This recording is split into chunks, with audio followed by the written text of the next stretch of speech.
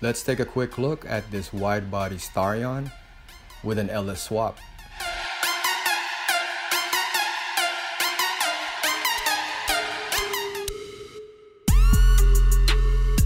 Possibly, hopefully, Yeah, my wife did make it it last time on her to little the 10th year, which But you can see like the know, she did the handles no there. problem at all. I mean, she So, did it the first time. The but this organizers then is filled out the other eye, Yeah. uh, indicating that your wish And I had used come automotive true. suede.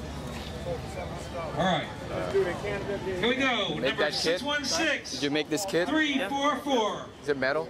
Six one six three four four. Kind of wake you guys up. Just for this car, right? Yeah.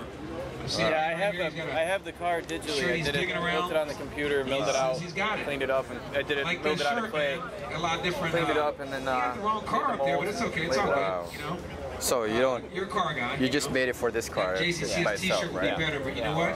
You're representing. And, That's uh, crazy. My first uh, first attempt at it. It came out pretty good. Uh-huh. Mattel. I'm gonna try to do some uh, other cars, cars. eventually soon.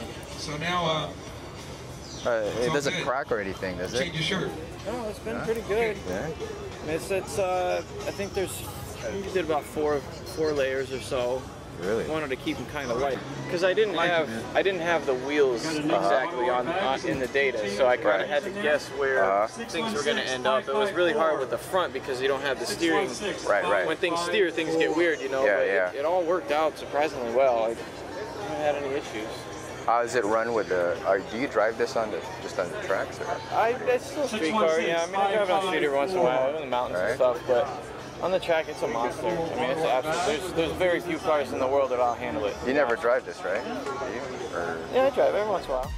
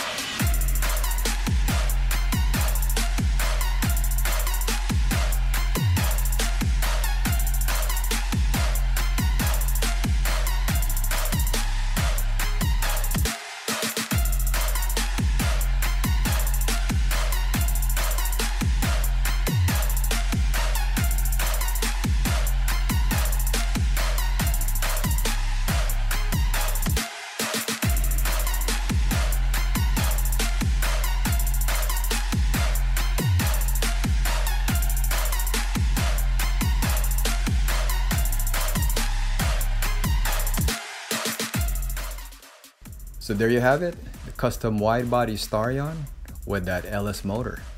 Till next time, drive safe and keep on rolling.